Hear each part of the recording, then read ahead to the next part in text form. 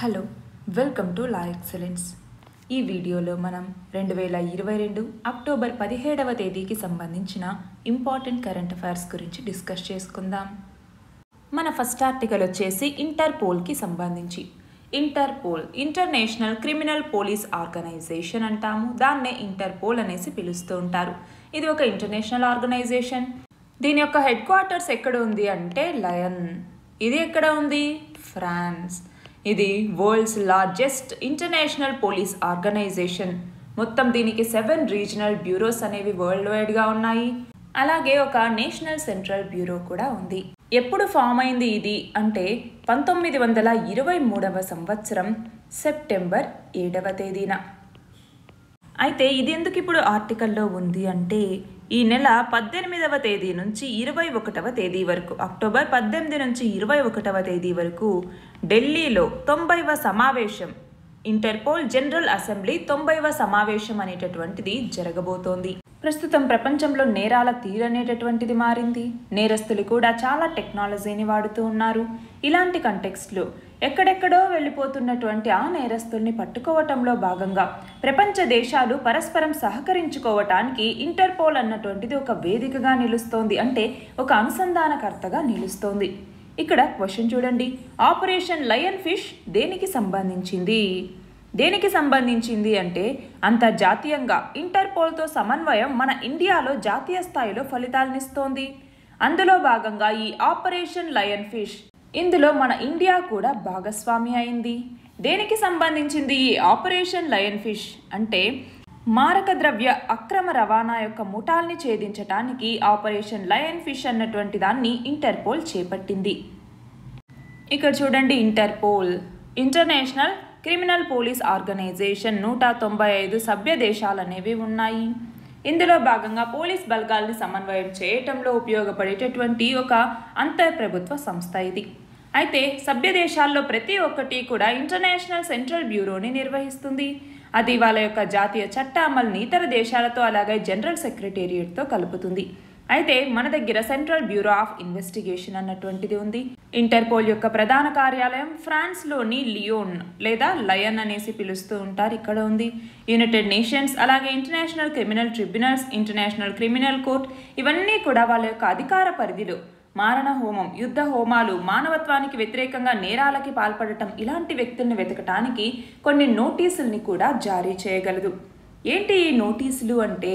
Interpole ఇచ్చేటటువంటి notices. ఇక్కడ చూడండి. ఏమేం నోటీసెస్ ఇస్తుంది ఇంటర్పోల్ అన్నటువంటిది? Red notice yellow notice blue notice black notice green notice orange notice purple notice అలాగే Interpol UN security council special notice అనేసి ఎనిమిది రకాల నోటీసెస్ని ఇంటర్పోల్ అన్నటువంటిది జారీ చేయగలదు. మన నెక్స్ట్ ఆర్టికల్ వచ్చేసి పేదరికానికి సంబంధించి. ప్రపంచమంతా వందల కోట్ల మంది పేదలు వాళ్ళ దుస్థితి నుంచి బయటపడడానికి చేస్తున్నటువంటి సంఘర్షణని గుర్తించి గౌరవించటానికి ఐక్యరాజ్య సమితి ప్రతి సంవత్సరం అక్టోబర్ పదిహేడవ తేదీని దారిద్ర్య నిర్మూలనా దినంగా నిర్వహిస్తోంది. అయితే ఈ సంవత్సరం రెండు వేల ఇరవై రెండుకి సంబంధించి నినాదం ఏంటి థీమ్ ఏంటి అంటే హుందాగా జీవించే హక్కు అందరికీ ఉంది అన్నటువంటిది. రీసెంట్గా ప్రపంచ బ్యాంకు పేదరికం సంపద పంపిణీ రెండు వేల ఇరవై రెండు అనే పేరు మీదట ఒక నివేదికను విడుదల చేయటం జరిగింది. అందులో భాగంగా రెండు వేల ఇరవై నాటికి పేదల యొక్క సంఖ్య ఏడు పాయింట్ ఒకటి కోట్లు అంటే పదకొండు శాతం మేర పెరిగి ఇంతకుముందు ఇంతకు ముందు ఉన్నటువంటి అరవై నాలుగు పాయింట్ ఎనిమిది కోట్ల మంది నుంచి పదకొండు శాతం పెరిగి ఎన్ని కోట్లకు చేరింది? డెబ్బై ఒకటి పాయింట్ తొమ్మిది కోట్లకు చేరింది. అంటే మొత్తం ఎన్ని కోట్లు పెరిగింది? ఏడు పాయింట్ ఒకటి కోట్లు పెరిగింది. అయితే ఇందులో ఈ ఏడు పాయింట్ ఒకటి కోట్ల మందిలో ఎనభై శాతం మన భారతదేశంలోనే ఉన్నారు అన్నట్లుగా ఈ నివేదిక చెప్తోంది. కోవిడ్ వల్ల రెండు వేల ఇరవై ఒకటిలో ప్రపంచవ్యాప్తంగా కొత్తగా పదహారు కోట్ల మంది పేదలుగా మారటం జరిగింది. అయితే ప్రపంచ పేదరికాన్ని రెండు వేల ముప్పైవ సంవత్సరం నాటికి మూడు శాతం మేర తగ్గించాలి అనేసి ఐక్యరాజ్య సమితి సుస్థిరాభివృద్ధి లక్ష్యం చెప్తోంది. అయితే అది నెరవేరేలాగా లేదు అన్నట్టుగా ప్రపంచ బ్యాంకు చెప్తుందన్నమాట. అయితే భారతదేశంలో అయితే బహువిధ దారిద్ర్యం గురించి రెండు వేల ఇరవై ఒకటి నవంబర్లో నీతి ఆయోగ్ కూడా ఒక నివేదికను విడుదల చేసింది. అందులో ఏం చెప్పింది? పోషకాహారం శిశు మరణాలు ప్రసవానికి ముందు ఇచ్చే సేవలు పాఠశాల హాజరు అలాగే వంటకు వాడే ఇంధనం పారిశుద్ధ్యం తాగునీటి సరఫరా అలా మొత్తం పన్నెండు అంశాల ఆధారంగా పేదరికాన్ని అంచనా వేసింది. అందులో భారతదేశ జనాభాలో ఇరవై ఐదు శాతం ఈ బహువిధ పేదరికం అంటే మల్టీ డైమెన్షనల్ పావర్టీలో మగ్గుతున్నారు అన్నట్టుగా ఈ నివేదిక చెప్పింది. మనకి యునైటెడ్ నేషన్స్ తీసుకొచ్చినటువంటి ఎస్డిజీస్ అంటే సస్టైనబుల్ డెవలప్మెంట్ గోల్స్లో గోల్ వన్ అన్నటువంటిది ఏం చెప్తుంది అంటే పావర్టీ గురించి ఎండ్ పావర్టీ అనేసి చెప్తుంది దారిద్ర్య నిర్మూలన అనేసి. మన దేశంలో ఈ మల్టీ డైమెన్షనల్ పావర్టీకి సంబంధించి ఉత్తరాదిలో బీహార్ అందులోని జనాభాలో యాభై రెండు శాతం మేర పేదల్ని కలిగి ఉంది. దాని తర్వాత జార్ఖండ్ దాని తర్వాత ఉత్తరప్రదేశ్ దాని తర్వాత మధ్యప్రదేశ్ దాని తర్వాత రాజస్థాన్ ఉన్నాయి. అయితే కేరళ జనాభాలో కేవలం ఒక్క శాతం కన్నా తక్కువ స్థాయిలో ప్రజలు ఈ బహువిధ పేదరికాన్ని అనుభవిస్తూ ఉన్నారు. అయితే వాతావరణ మార్పుల వల్ల కూడా పేదరికం అనేది పెరుగుతోంది. ఫర్ ఎగ్జాంపుల్ తుఫాన్లు లేదంటే వరదలు అలా వాటి వల్ల కూడా చాలా ఇంపాక్ట్ అనేది పడుతుంది. ఫర్ ఎగ్జాంపుల్ అనంతపూర్లో వచ్చినటువంటి వరదలు. చూడండి వరదలు వచ్చిపోయినా కూడా వాళ్ళ మీద ఎంత ఎఫెక్ట్ పడింది? ఇప్పటికీ కూడా ఆ ఏరియా అలానే ఉంది. ఇంకా క్లీన్ అవ్వలేదు. వేసుకున్న వాళ్ళు వేసుకున్న బట్టలతోనే ఉన్నారు. ఎంతమంది వాళ్ళలో పేదరికంలోకి వెళ్ళిపోయారు అన్నటువంటిది మనకి ఇంకా తెలియని కూడా తెలియదు సో ఇలా వాతావరణ మార్పుల వల్ల కూడా పేదరికం అనేది వస్తుంది. వాతావరణ మార్పుల వల్ల వచ్చే దశాబ్దంలో అంటే వచ్చే పదేళ్ళలో అదనంగా పది కోట్ల మంది దారిద్ర్యంలోకి జారిపోతారు అన్నట్టుగా ప్రపంచ బ్యాంక్ హెచ్చరిస్తోంది. ఇక్కడ క్వశ్చన్ చూడండి. దారిద్ర్య నిర్మూలన దినాన్ని ఏ రోజున నిర్వహిస్తారు? ఏ రోజున? అక్టోబర్ పదిహేడవ తేదీన. Global multi dimensional poverty index లేదా బహుముఖ పేదరిక సూచి రెండు వేల ఇరవై ఒకటిలో మొత్తం నూట తొమ్మిది దేశాలలో భారతదేశం ఎన్నవ స్థానంలో ఉంది అంటే అరవై ఆరవ స్థానంలో ఉంది. ఇక్కడ చూడండి భారతదేశంలో పేదరికానికి గల కారణాలు ఏంటి అంటే ఒకటి జనాభా విస్ఫోటనం. రెండు వ్యవసాయ ఉత్పాదకత సరిగ్గా లేకపోవటం. అలాగే వనరుల్ని సమర్థంగా వినియోగించుకోలేకపోవటం. ఆర్థిక అభివృద్ధి తక్కువ రేటుని సాధించటం ధరల్లో పెరుగుదల నిరుద్యోగం మూలధనం మరియు వ్యవస్థాపకత లేకపోవటం సామాజిక అంశాలు వలస దోపిడీ వాతావరణ కారకాలు. ఇది చాలా ఇంపార్టెంట్. అయితే ఇక్కడ పావర్టీ ట్రాప్ అనేటటువంటిది ఒకటి చెప్పటం జరిగింది. ఏంటి పావర్టీ ట్రాప్ అంటే? ఫర్ ఎగ్జాంపుల్లో ఇన్కమ్ ఉంది అనుకుందాం. లో ఇన్కమ్ ఉంటే సేవింగ్స్ తక్కువ వస్తాయి. సేవింగ్స్ తక్కువ ఉంటే ఇన్వెస్ట్ తక్కువ చేస్తాము. తక్కువ ఇన్వెస్ట్మెంట్ ఉంటే ఎకనామిక్ గ్రోత్ అనేది తక్కువగా ఉంటుంది. ఎకనామిక్ గ్రోత్ తక్కువగా ఉంటే మళ్ళీ ఇన్కమ్ అనేది తక్కువగా వస్తుంది. సో ఇదొక సైకిల్ అలాగే లో ఇన్కమ్ ఉందనుకోండి మనం ఎడ్యుకేషన్ మీద హెల్త్ మీద కూడా సరిగ్గా కేర్ చూపించం. దానివల్ల ఏమవుతుంది? హ్యూమన్ క్యాపిటల్ యొక్క లెవెల్స్ అనేవి పడిపోతాయి. అలా పడిపోవటం వల్ల ప్రొడక్టివిటీ అనేది తగ్గుతుంది. ప్రొడక్టివిటీ తక్కువ ఉంటే ఏమవుతుంది? ఇన్కమ్ అనేది తక్కువ అవుతుంది అలాగా పావర్టీ అన్నటువంటిది ఇటు గ్రోత్కి ఇటు డెవలప్మెంట్కి కూడా నెగిటివ్ ఎఫెక్ట్ అన్నటువంటిది చూపిస్తుంది. అయితే మన భారతదేశంలో ఈ పేదరికాన్ని నిర్మూలించడానికి తీసుకొచ్చిన కార్యక్రమాలు ఏంటి అంటే ఒకటి IRDP integrated rural development programme. రెండు జవహర్ రోజ్గార్ యోజన లేదా జవహర్ గ్రామ సమృద్ధి యోజన. మూడు ఇందిరా ఆవాస్ యోజన. పని కోసం ఆహారం వర్క్ ఫర్ ఫుడ్ అనేటటువంటి కార్యక్రమం అలాగే జాతీయ వృద్ధాప్య పెన్షన్ కార్యక్రమం అలాగే అన్నపూర్ణ పథకం సంపూర్ణ గ్రామీణ రోజ్గార్ యోజన మహాత్మా గాంధీ జాతీయ గ్రామీణ ఉపాధి హామీ చట్టం జాతీయ గ్రామీణ జీవనోపాధి మిషన్ జాతీయ పట్టణ జీవనోపాధి మిషన్ ప్రధానమంత్రి కౌశల్ వికాస్ యోజన ప్రధానమంత్రి జన్ధన్ యోజన. ఇవన్నీ కూడా మన దేశంలో చేపట్టినటువంటి పేదరిక నిర్మూలన కార్యక్రమాలు. మన నెక్స్ట్ ఆర్టికల్ వచ్చేసి బ్యాంకింగ్ రంగానికి సంబంధించి.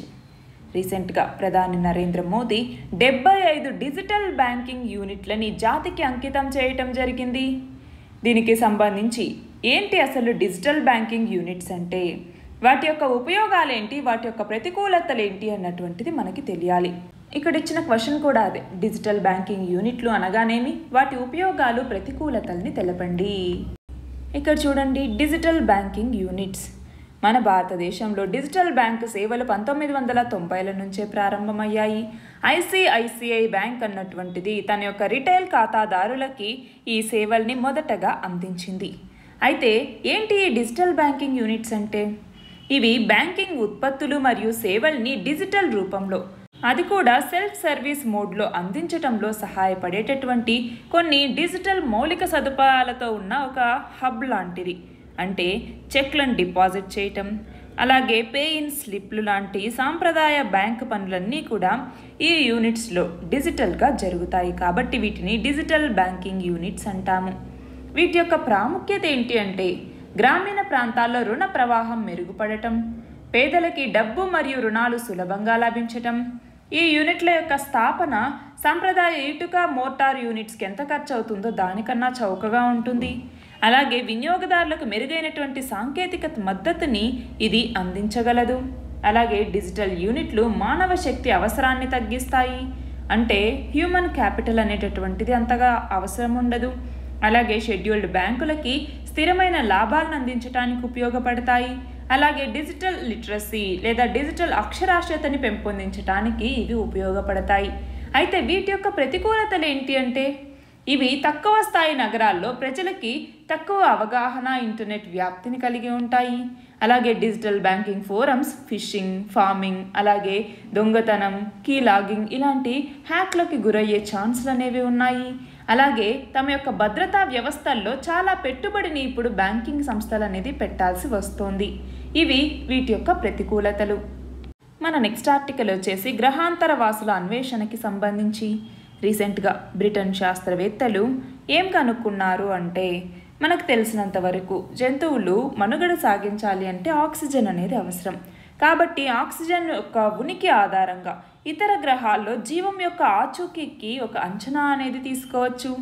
అయితే ఈ నేపథ్యంలో మన భూ చరిత్రలో కాలానుగుణంగా ఆక్సిజన్లో వచ్చినటువంటి పరిణామాల్లో ఏవైతే మార్పులు ఉంటాయో ఆ మార్పుల మీద బ్రిటన్లోని లీడ్స్ విశ్వవిద్యాలయ శాస్త్రవేత్తలు ఒక పరిశోధనని సాగించటం జరిగింది. ఆ పరిశోధన గ్రహాంతర జీవం అన్వేషణకి ఒక మార్గదర్శిగా నిలిచింది అన్నట్లుగా ఈ ఆర్టికల్. భూమి నాలుగు వందల యాభై కోట్ల ఏళ్ళ చరిత్రలో చాలా స్థిరమైనటువంటి పరిస్థితుల్ని కలిగి ఉండటం వల్ల జీవం అనేది వికసించి ఉంటుంది అన్నటువంటి ఒక భావన ఇప్పటి వరకు ఉండేది. అయితే ఆక్సిజన్ స్థాయి భారీగా హెచ్చుతగ్గులకు లోనవుతున్నటువంటి వాతావరణంలో మొదటి తరం జంతువులు గనక వికసించి ఉంటే ఏవో కొన్ని అంశాలు వీటికి దోహదపడి ఉండొచ్చు అన్నట్టుగా శాస్త్రవేత్తలు చెప్పటం జరిగింది. మనం చూస్తే ప్రస్తుతం వ్యాప్తిలో ఉన్నటువంటి సిద్ధాంతం ప్రకారం భూమి మీద ఆక్సిజన్ స్థాయి అన్నటువంటిది మూడంచెల్లో పెరిగింది. అందులో ఒకటి వచ్చేసరికి గ్రేట్ ఆక్సిడేషన్ ఈవెంట్ అన్నటువంటిది. ఇది రెండు వందల నలభై కోట్ల ఏళ్ళ కిందట జరిగింది అనేసి భావిస్తూ ఉన్నారు. దీనికి ముందు వాతావరణం సముద్రాల్లో ఆక్సిజన్ అనేది ఉండేది కాదు. కానీ ఈ గ్రేట్ ఆక్సిజన్ ఈవెంట్తో భూమి మీద ఈ ఆక్సిజన్ అన్నటువంటిది రావటం జరిగింది. ఇక మూడవ పరిణామం వచ్చేసరికి రెండవది పక్కన పెట్టండి. మూడవది వచ్చేసరికి నలభై రెండు కోట్ల ఏళ్ళ కిందట జరిగింది. అది ఏంటి అంటే పేలియోజాయిక్ ఆక్సిజనేషన్ ఈవెంట్ అన్నటువంటిది. దీనివల్ల వాతావరణంలో ఆక్సిజన్ పరిమాణం అన్నటువంటిది ప్రస్తుతం ఉన్నటువంటి స్థాయికి చేరింది. అయితే ఈ రెండు ఘటనలకి మధ్య రెండవ ఘటన ఏదైతే ఉందో అది ఏంటి అంటే నియో ప్రొటరోజాయిక్ ఎన్ఓఈ అంటాము. అంటే నియో ప్రొటరోజాయిక్ ఆక్సిజనేషన్ ఈవెంట్ అనేసి పిలుస్తాము. ఇది ఆక్సిజన్ పెరుగుదల అనేటటువంటిది ఈ స్టేజ్లో జరిగింది. మనకి తొలితరం క్షీరదాలు రావటానికి ముందు అంటే అరవై కోట్ల ఏళ్ళ కిందట ఈ ఎన్ఈఓ అంటే నియో ప్రొటరోజాయిక్ ఆక్సిజనేషన్ ఈవెంట్ అనేది చోటు చేసుకుంది అన్నట్టుగా కొన్ని పరిశోధనలు చెప్పటం జరిగింది. అయితే నియో ప్రొటరోజాయిక్ కాలంలో ఆక్సిజన్ ఒక్కసారిగా పెరగలేదు. కాలానుగుణంగా చాలా వేగంగా హెచ్చుదగ్గులకు లోనైంది అన్నట్టుగా బ్రిటిష్ శాస్త్రవేత్తలు ఇప్పుడు తేల్చటం జరిగింది. వాళ్ళ యొక్క అంచనా ప్రకారం డెబ్బై ఐదు కోట్ల ఏళ్ళ కిందట వాతావరణంలో పన్నెండు శాతం ఆక్సిజన్ ఉండేది. అయితే కొన్ని లక్షల తర్వాత లక్షల సంవత్సరాల తర్వాత అది సున్నా పాయింట్ మూడు శాతానికి పడిపోయింది. ఇంకొన్ని లక్షల సంవత్సరాల తర్వాత దాని పరిమాణం మళ్ళీ పెరిగింది.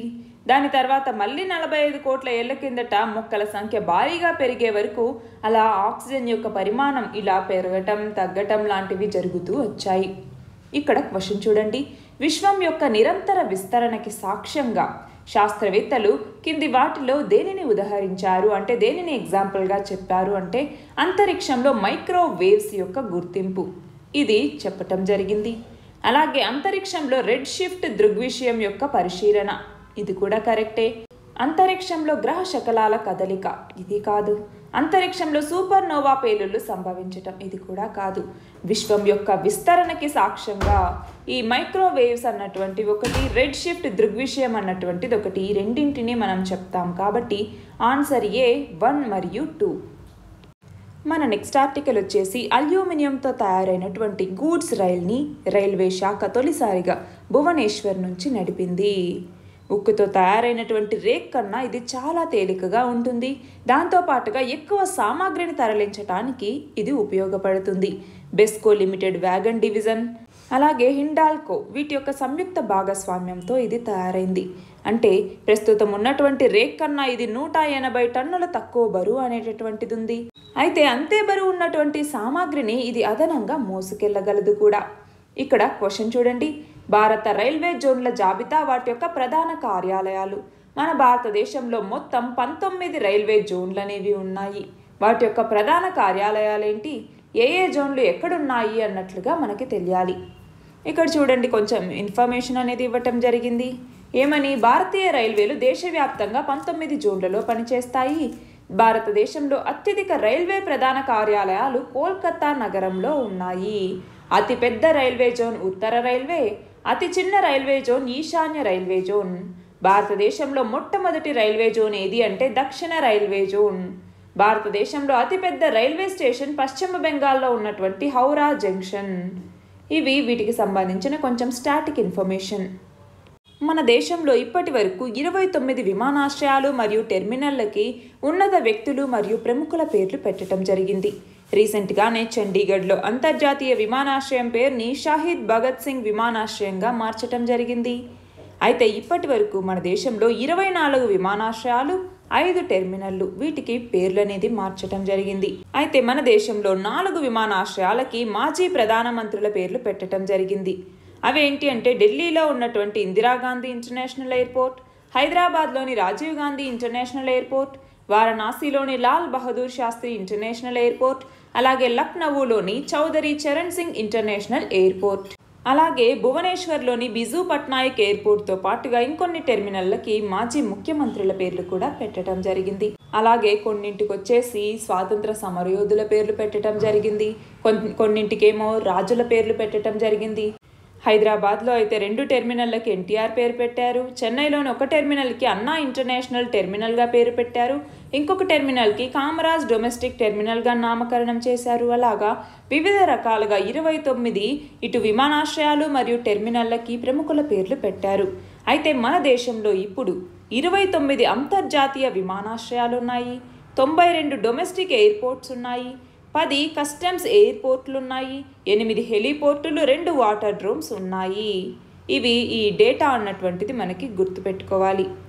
ఇక్కడ క్వశ్చన్ చూడండి. చండీగఢ్లోని విమానాశ్రయం పేరును ఇటీవల ఏ పేరుగా మార్చారు? ఏ పేరుగా? షహీద్ భగత్ సింగ్ ఇంటర్నేషనల్ ఎయిర్పోర్ట్ అన్నటువంటి పేరుగా మార్చారు.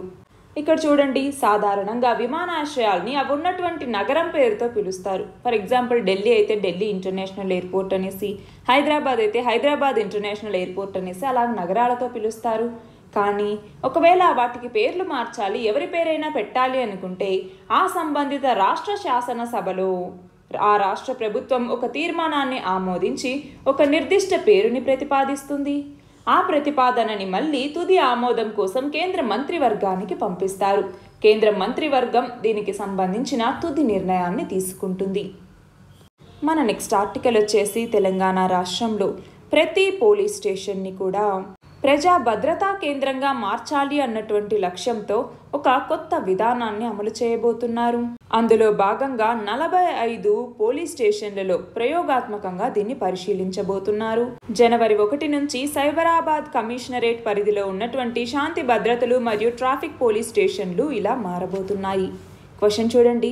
ప్రతి పోలీస్ స్టేషన్ని ప్రజా భద్రతా కేంద్రంగా మార్చటాన్ని తెలంగాణ రాష్ట్రంలోని ఎన్ని పోలీస్ స్టేషన్లలో జనవరి ఒకటి రెండు వేల ఇరవై మూడు నుంచి ప్రయోగాత్మకంగా అమలు చేయబోతున్నారు? ఎన్నింటిలో నలభై ఐదు పోలీస్ స్టేషన్లలో? మన నెక్స్ట్ ఆర్టికల్ వచ్చేసి వైఎస్ఆర్ రైతు భరోసా పీఎం కిసాన్ పథకానికి సంబంధించి. ప్రతి సంవత్సరం మూడు విడతల్లో పదమూడు వేల ఐదు వందల రూపాయల్ని ఈ రైతు భరోసా సహాయం కింద అందజేయటం జరుగుతుంది. అలాగా ఇప్పుడు నాలుగవ ఏడాది రెండవ విడత వైఎస్ఆర్ రైతు భరోసాకి సంబంధించినటువంటి ఆర్థిక సహాయాన్ని వాళ్ళ యొక్క లబ్ధిదారుల యొక్క అకౌంట్స్లో జమ చేయబోతున్నారు. దానికి సంబంధించిందే ఈ ఆర్టికల్. క్వశ్చన్ చూడండి. వైఎస్ఆర్ రైతు భరోసా పథకం గురించి తెలపండి. ఈ వైఎస్ఆర్ రైతు భరోసా ప్రధానమంత్రి కిసాన్ పథకం ఏదైతే ఉందో దీని కింద ఈ పిఎం కిసాన్ కింద ఆరు వేల రూపాయలని కేంద్ర ప్రభుత్వం ఇవ్వటం జరుగుతుంది. మిగిలినటువంటి ఏడు వేల ఐదు వందల రూపాయలు ఏదైతే ఉందో ఇది ఏపీ గవర్నమెంట్ ఇస్తుంది. ఇదేమో గవర్నమెంట్ ఆఫ్ ఇండియా ఇస్తుందన్నమాట. అది కూడా మూడు విడతల్లో. ఈ గవర్నమెంట్ ఆఫ్ ఇండియా ఈ ఆరు వేల రూపాయలని ఇవ్వటం జరుగుతుంది. దీనికి సంబంధించి కౌలు రైతులు కూడా ఈ పథకానికి అర్హులుగా పరిగణించబడతారు. అలాగే దీనికి సంబంధించి చూస్తే ఆర్బీకేస్ అంటాము. అంటే రైతు భరోసా కేంద్రాలు అనేసి. ఏపీ ప్రభుత్వం తీసుకొచ్చినటువంటి ఈ రైతు భరోసా కేంద్రాలని ఐక్యరాజ్య సమితి అనుబంధ సంస్థ అయినటువంటి ఫుడ్ అండ్ అగ్రికల్చరల్ ఆర్గనైజేషన్ అందించే ప్రతిష్టాత్మక ఛాంపియన్ పురస్కారానికి కేంద్ర ప్రభుత్వం రెండు వేల ఇరవై రెండు మేలో నామినేట్ చేసింది. మన నెక్స్ట్ ఆర్టికల్ వచ్చేసి ఉక్రెయిన్ రష్యా యుద్ధానికి సంబంధించి. అందులో భాగంగా రష్యాకి చాలా ఎదురు దెబ్బలు అనేవి తగులుతూ ఉన్నాయి. ఈ కంటెక్స్ట్లో అణ్వాయుధాల్ని ప్రయోగించడానికి కూడా రష్యా వెనుకాడదు అన్నటువంటి విశ్లేషణ అనేది ఉంది. ఆ కంటెక్స్లో అణుయుద్ధం అనేది సంభవిస్తుందా? ఇటు చూస్తే నాటో దళాలు వచ్చేసరికి అణ్వాయుధాలకి సంబంధించి ప్రతి సంవత్సరం విన్యాసాల్ని నిర్వహిస్తూ ఉంటుంది. అలాగా నిర్వహించాలి అన్నట్టుగా నేటో ఏమో ఒక పక్క సమావేశం అవుతుంది అలాగే రష్యా ప్రెసిడెంట్ ఏమో మేము అణ్వాయుధాలని ఉపయోగించడానికి కూడా వెనుకాడబోము అన్నట్టుగా ఈయన చెప్తున్నారు. ఈ కంటెక్స్లో అణుయుద్ధం అనేది గనక వస్తే ఎక్కడ వేస్తారు? నల్ల సముద్రంలో పేలుస్తారా? అలాగే ప్రపంచంలో అత్యంత పెద్దదైనటువంటి బెల్గరోడ్ జలంతర్గామి ఈ రష్యా దగ్గర ఉంది.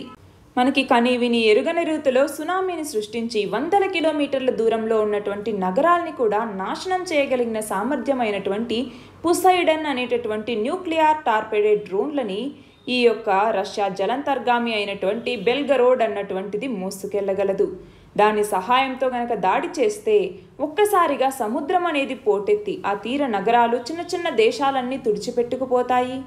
సముద్ర జలాలు విపరీతంగా కలుషితమైపోతాయి. నల్ల సముద్రంలో ఎక్కువగా ప్రమాదకర హైడ్రోజన్ సల్ఫైడ్ అనేటటువంటిది ఉంటుంది. అది వాతావరణంలోకి చేరి ఆ తీర ప్రాంతాల్లోని ప్రజలకి ప్రాణాంతకంగా మారుతుంది.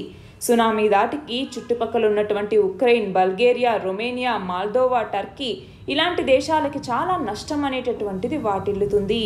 అలాగే అక్కడ రష్యా భూభాగమైనటువంటి క్రిమియా కూడా ఉంది. దాని మీద కూడా ఎక్కువ ఎఫెక్ట్ అనేటటువంటిది పడుతుంది. కానీ ఇవన్నీ పక్కన పెడితే అసలు అణువు దాడి అనేటటువంటిది చేస్తే అది వినాశనానికి దాడి తీస్తుంది. దానిని నివారించడానికి నాన్ ప్రొలిఫరేషన్ ట్రీటీ అన్నటువంటి దాన్ని తీసుకురావటం జరిగింది. రీసెంట్గా దీనికి సంబంధించిన సమీక్ష అనేది జరిగింది. ఆ సమీక్షకి ముందు మనకి పీ ఫైవ్ కంట్రీస్ లేదా పర్మనెంట్ ఫైవ్ కంట్రీస్ అంటాం. చైనా ఫ్రాన్స్ రష్యా యూకే మరియు యుఎస్. ఇవి ఒక ప్రతిజ్ఞని చేయటం జరిగింది. ఏం ప్రతిజ్ఞ అది అంటే ఇక్కడ చూడండి. అణ్వాయుధాల వ్యాప్తిని నిరోధించటానికి అణు సంఘర్షణను నివారించటానికి ప్రతిజ్ఞ చేశారు. ఆ ప్రతిజ్ఞ ఏంటి అంటే అణ్వాయుధాలు అనేవి మరింత వ్యాప్తి చెందకుండా నిరోధించటం. అణు యుద్ధం అనేది గెలవదు కాబట్టి ఎప్పటికీ పోరాడకూడదు అన్నట్టుగా ప్రతిజ్ఞ చేశారు. అణ్వాయుధ దేశాల మధ్య యుద్ధాన్ని నివారించటం మరియు వ్యూహాత్మక ప్రమాదాల్ని తగ్గించాలి అన్నట్టుగా ప్రతిజ్ఞ చేశారు. అణ్వాయుధాలు ఇవి ఉనికిలో ఉన్నంతకాలం రక్షణ ప్రయోజనాల్ని అందించటం వీటి యొక్క దూకుడిని అరికట్టడం యుద్ధాన్ని నిరోధించటం అన్నటువంటిది మా లక్ష్యం అన్నట్టుగా వీళ్ళు ప్రతిజ్ఞ చేశారు. అలాగే అణ్వాయుధాల అనధికారిక అంటే అనాలోచిత వినియోగాన్ని నిరోధిస్తాము అన్నట్టుగా వీళ్ళు ప్రతిజ్ఞ చేయటం జరిగింది. ఇవన్నీ కూడా ఈ ప్రతిజ్ఞ చేసిన దాంట్లో ఇప్పుడు ఫాలో అవుతారా అండి? అను యుద్ధం అనేటటువంటిది సంభవించకుండా ఈ అన్ని దేశాలు కలిసి చర్య తీసుకోగలవా? ఇది మనం చూడాలి. ఇక్కడ చూడండి ఎన్పిటి నైన్టీన్ సెవెంటీ యొక్క సమీక్షకు ముందు ఈ ప్రతిజ్ఞ అనేది చేయబడింది. మన లాస్ట్ ఆర్టికల్ వచ్చేసి తైవాన్ చైనా ఇష్యూకి సంబంధించి. ఇది ఎప్పటి నుంచో జరుగుతున్నటువంటి ఇష్యూ. తైవాన్ని తమ భూభాగంలో కలుపుకోవటానికి చైనా ప్రయత్నిస్తోంది. తైవాన్ ఏమో లేదు మేము చైనాలో పార్ట్ కాదు మాది ఒక దేశమే అన్నట్టుగా తైవాన్ అనేది ప్రయత్నిస్తోంది. అయితే ఇప్పుడు జీ జిన్పింగ్ లేదా షీ జిన్పింగ్ ఇటీవల ఇరవైవ జాతీయ సమావేశాలు అనేవి జరుగుతూ ఉన్నాయి. అందులో భాగంగా ఏమన్నారు? తైవాన్ని చైనాలో కలిపేసుకోవటానికి సైనిక ప్రయోగానికి కూడా వెనుకాడబోను అన్నట్టుగా స్పష్టం చేయటం జరిగింది. ఈ కంటెక్స్లో చైనా త్వరలోనే తైవాన్ మీద బల ప్రయోగం చేయబోతోందా అన్నటువంటి అనుమానాలు వ్యక్తమవుతూ ఉన్నాయి. ఇక్కడ క్వశ్చన్ చూడండి. ప్రస్తుతం ఎన్ని దేశాలు తైవాన్ని సార్వభౌమ దేశంగా గుర్తించాయి? ఎన్ని దేశాలు అంటే పదమూడు దేశాలు. పదమూడు దేశాలు ప్లస్ వాటికన్. ఇవి తైవాన్ని సార్వభౌమ దేశంగా గుర్తించటం జరిగింది. నిన్నటి క్వశ్చన్ వచ్చేసి హాతిగుంఫా శాసనాన్ని వేయించింది ఎవరు? ఎవరు వేయించారు? కారవేలుడు.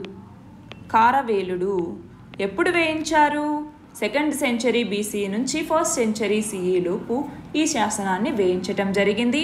ఇది మొత్తం పదిహేడు లైన్లు ఉండేటటువంటి ఒక ఇన్స్క్రిప్షన్ అనమాట పదిహేడు లైన్లు ఉన్నాయి ఏ లాంగ్వేజ్లో అంటే ప్రాకృతం? ప్రాకృతం ప్రాకృత లాంగ్వేజ్లో దీన్ని ఇవ్వటం జరిగింది. స్క్రిప్ట్ అంటాము. ఆ స్క్రిప్ట్ ఏది అంటే బ్రాహ్మీ. బ్రాహ్మీ అన్నటువంటి స్క్రిప్ట్లో ఇవ్వటం జరిగింది. ఉదయగిరి హిల్స్లో ఈ ప్లేస్ అనేది ఉంది. ఉదయగిరి హిల్స్ ఒడిశాలో ఉన్నాయన్నమాట. అక్కడ కారవేల ఈ హాతిగుంప ఇన్స్క్రిప్షన్ అన్నటువంటి దాన్ని ఇవ్వటం జరిగింది. ఇవాంటి క్వశ్చన్ చూడండి. అంతర్జాతీయ ద్రవ్యనిధి సంస్థ ఐఎంఎఫ్ ఏ సంవత్సరంలో స్పెషల్ డ్రాయింగ్ రైట్స్ని సృష్టించింది? దీని ఆన్సర్ కమెంట్ సెక్షన్లో ఇవ్వండి. కరెక్ట్ ఆన్సర్ రేపటి వీడియోలో చూద్దాం. All the very best and thank you very much.